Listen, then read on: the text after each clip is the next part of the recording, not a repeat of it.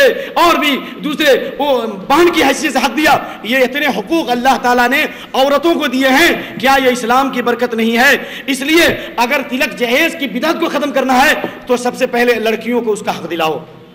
جب کسی قوم پر بدعت کا کام ہوگا، اللہ صحیح سنتوں کو اٹھا لے گا۔ ہم نے لڑکیوں کو اس کے حق سے محروم کیا، اس لیے آج جہیز کی بدعت پیدا ہو گئی۔ ما حدث قوم بدعتا الا نزع الله من سنتهم. جب کوئی قوم کسی بدعت کو عمل کرتی ہے، کسی دوسرے دھرم کو اختیار کرتی ہے، برادران وطن کی تقلید کرتی ہے، کافر و مشرکوں کے طریقے کو اختیار کرتی ہے، اللہ صحیح سنتوں کو اٹھا لے گا۔ صحیح سنتوں کو اللہ کیا کرے گا؟ اٹھا لے گا۔ اس لیے عورتوں کو اس کا حق دو۔ اور دوسری چیز، اگر نکاح کو آسان بنانا ہے، تو آپ اپنی لڑکیوں کو تعلیم دو۔ قرآن و سنت کی تعلیم دو۔ آج آج لڑکیوں کو کالج کی تعلیم، مخلوط تعلیم، کمپیوٹر کی تعلیم، میڈیکل کی تعلیم، جنہیں حقیر سمجھ کر بجھا دیا تم نے، وہی چراغ جلیں گے تو روشنی ہوگی۔ کیا کیا آپ نے؟ آپ کی لڑکیوں نے کالج میں پڑھ کر کون سا انقلاب برپا کیا ہے؟ آپ کی بچیوں نے کالج میں پڑھ کر کون سے معاشرے میں اصلاح کیا ہے؟ آپ کی لڑکیوں نے کالج میں پڑھ کر کیا ان کے حقوق مل گئے؟ ان کی شادیاں ہو گئی بربادیوں کی طرف، تباہی کی طرف گئی ہیں۔ لیکن جن لڑکیوں نے آج کے بگڑے ہوئے دور میں قرآن و سنت کی تعلیم حاصل کی ہے، اللہ کی قسم ایک ایک عورت نے ہزاروں عورتوں میں انخلا برپا کیا ہے۔ جاؤ دیکھو ہندوستان کے اندر، جن لڑکیوں نے بنگلور میں پڑھا ہے، جنہوں نے جامعت المفلحات میں پڑھا ہے، یا جامعہ خولا میں پڑھا ہے، یا جنہوں نے مالیگاؤں میں پڑھا ہے، میں ان میں سے بعض بچیوں کو جانتا ہوں کہ ایک ایک عورت کے ذریعے اللہ نے ہزاروں عورتوں کو ہدایت نصیب فرمائی ہے۔ میں جانتا ہوں، تمہارے شہر کی تاریخ موجود ہے، آپ کے اس صوبے کی تاریخ موجود ہے، دور جانے کی ضرورت نہیں ہے۔ آپ اپنی لڑکیوں کو قرآن سنت کی تعلیم دو۔ ابھی دنیا پیاسی ہے۔ ابھی دنیا پیاسی ہے۔ ابھی دنیا پیاسی ہے۔ اپنی لڑکیوں کو قرآن سنت کی تعلیم دو۔ اور سنو، ان اللہ یبغض کل عالم، کل کل عالم بالدنیا جاہل بالاخرہ صحیحہ اللہ ہر اس عالم سے دشمنی رکھتا ہے۔ اللہ تعالیٰ اس آدمی کو دشمن بناتا ہے جو دنیا کا علم رکھتا ہے، لیکن آخرت کا علم نہیں رکھتا۔ آخرت کا جاہل ہے، دین کا جاہل ہے دنیا کا عالم ہے اللہ کا وہ دشمن ہے۔ یہ حدیث بالکل صحیح ہے۔ تو جو اللہ کا دشمن ہو، جو جو تعلیم سے سماج میں معاشرے میں انقلاب نہ آئے، جس سے نیک شوہر نہ پیدا ہو، جس سے بچوں کی تربیت نہ ہو، جہاں سیکس کی تعلیم ہو، جہاں فحاشی کی تعلیم ہو، جہاں عورتوں، بچیوں کی مخلوط پر مردوں اور عورتوں مردوں اور عورتوں کی مخلوط تعلیم ہو، اس سے کون سا انقلاب آئے گا؟ میں کہتا ہوں، اگر کالج کی تعلیم ضروری بھی ہے، تو آپ دیکھو، علی گڑھ دلی یونیورسٹی کے اندر، آج سے دس سال پہلے جب کلکتہ کی ایک چوبیس سالہ طالبہ کے ساتھ ان کے بھائیوں نے اور کالج کے بچوں نے جب بدفیلی اور برائی کی تو وہاں کی لڑکیوں نے اور وہاں کے بچوں نے آواز اٹھائی کہ جس طرح لڑکوں کے لیے حق ہے، عورتوں کو بھی حق دیا جائے اور ہمارا ہسٹل الگ کیا جائے، ہمارے گیٹ الگ کیا جائے مخلوط تعلیم نہ دی جائے، جب وہ مطالبہ کر سکتی ہیں، تو آج بھی آپ کالج اور اسکول کے اندر آپ اچھے سلیبس شامل کر سکتے ہو، اخلاقی لٹریچر شامل کر سکتے ہو۔ آپ پی یو سی کی تعلیم، ساتویں کی تعلیم اور پانچویں کلاس کی تعلیم، اس میں لڑکیوں کے لیے اخلاقیات کی تعلیم دے سکتے ہو۔ اگر فحاشی کو روکنا ہے، تو ایسے سلیبس داخل کرو۔ آپ ان میں جاؤ، درس دو۔ آپ ان میں خطاب کرو۔ آپ ان کو توجہ دلاؤ۔ کہ یہ ملک یہ ملک کی رنگا رنگی تہذیب، گنگا جنب تہذیب محفوظ نہیں رہ سکتی ہے۔ اگر لڑکوں اور لڑکیوں کی مخلوط تعلیم دی جائے، یہ ہندوستان جو دنیا کے لیے ایک مثالی ملک ہے، اگر لڑکیوں اور لڑکیوں کی یوں ہی تعلیم ہوتی رہی اور مخلوط تعلیم ہوتی رہی، تو صرف آپ بمبئی کی ایک رپورٹ، صرف بمبئی کی رپورٹ پچہتر فیصد طلبہ کا جب رپورٹ لیا گیا، اس میں اسکول میں پچہتر فیصد لڑکے اور لڑکیاں سب کے سب زنا جیسے کبھی فیل کے اندر ملوث تھے۔ آج سے دو ہزار دو ہزار دو کی رپورٹ ہے میرے بھائیوں تو آج بتاؤ آج کا کیا حال ہوگا؟ اس لیے اگر سماج اور معاشرے میں انقلاب لانا ہے فحاشی بے حیائی کو دور کرنا ہے، تو لڑکیوں کو قرآن و سنت کی تعلیم دو اور اللہ کا خوف پیدا کرو۔ اللہ کا خوف پیدا ہوگا تو آپ کی لڑکیاں خود برائی سے بھاگیں گی۔ کالج جائیں گی بھی تو لوگوں کو بدلنے کی کوشش کریں گی، خود نہیں بدلیں گی۔ دیکھو، یہ معاذ اسلمی ہے مسلم شریف کی حدیث ہے، زنا کا فعل سرزد ہوتا ہے، کوئی نہیں دیکھتا۔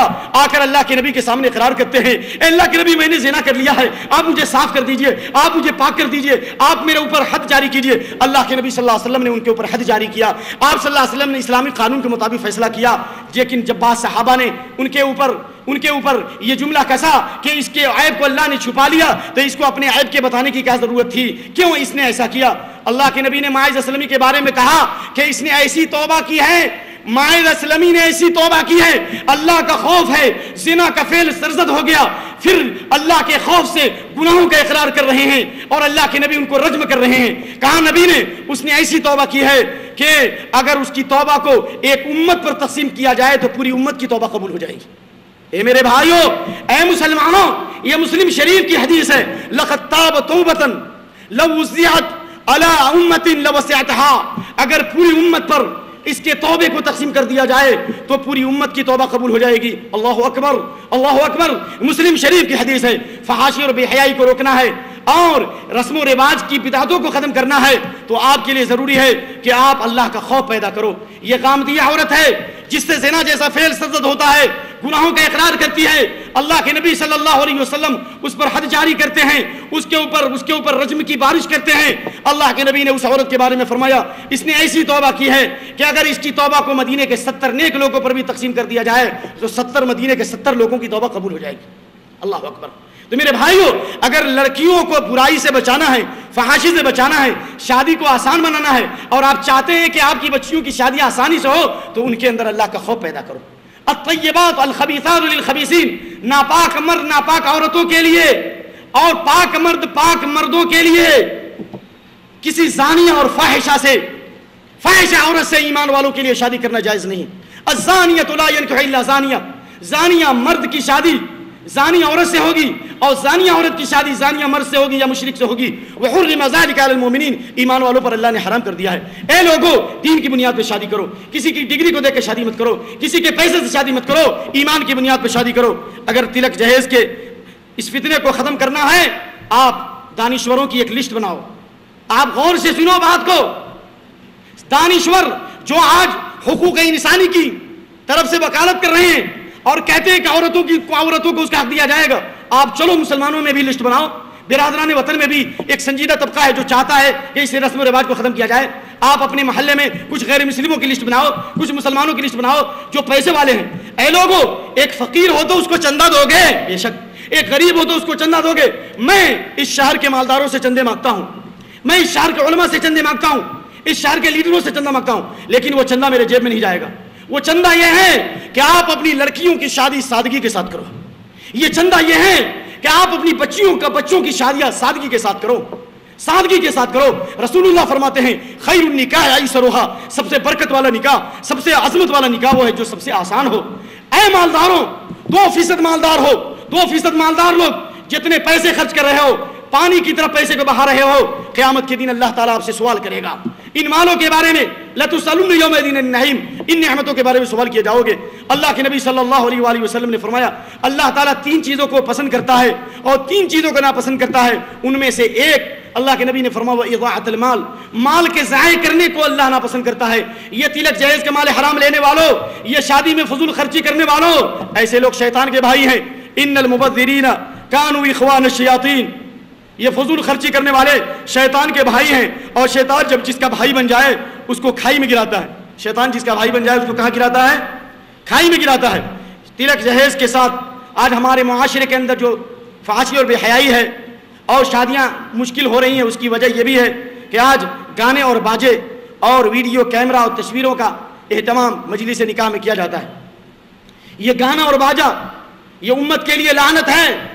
یہ میوزک لعنت ہے۔ اللہ کے نبی فرماتے ہیں ابن ماجہ کی حدیث، ان اللہ امرنی بمحق المعازف والمزامیر اللہ نے میوزک کو ختم کرنے کے لیے، گانے اور باجے کو ختم کرنے کے لیے اللہ نے ہمیں بھیجا ہے۔ اور یہ میوزک اور یہ گانا اور باجا اللہ کے نبی فرماتے ہیں، ابن ماجہ کی حدیث، کہ جب یہ قوم رات بھر گانے اور باجے کرے گی میوزک بجائے گی اور گانے والیاں گائیں گی، تو اس گانے اور باجے کی وجہ سے اللہ تعالیٰ اس امت کے چہروں کو بندروں اور سوروں سے بدل دے گا۔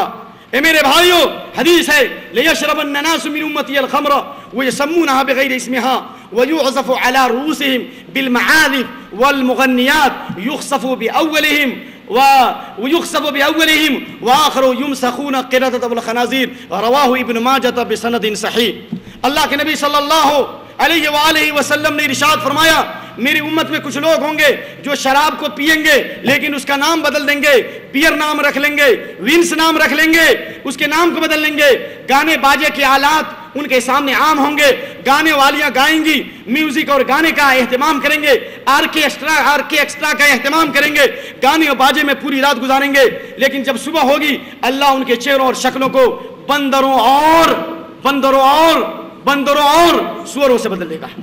اور جو لوگ باقی رہ جائیں گے، اللہ رب العالمین، اللہ رب العالمین ان کو زمین میں دھسا دے گا۔ یہ حدیث مسلم شریف کی، یہ حدیث ابن ماجہ کی ہے میرے بھائیوں۔ تو اس لیے آج شادی کے اندر جو گانے اور باجے کی جو بدعتیں پیدا ہے ایسی جگہوں پر آپ کے لیے جانا جائز نہیں ہے۔